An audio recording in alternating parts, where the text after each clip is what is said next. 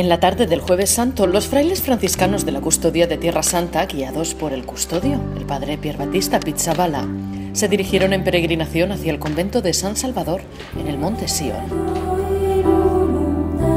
Una peregrinación en el cenáculo para mantener viva la memoria de la última cena, entre cantos, oraciones y la lectura de los pasajes evangélicos que narran los acontecimientos que tuvieron lugar en este sitio. Se repite el gesto de lavar los pies.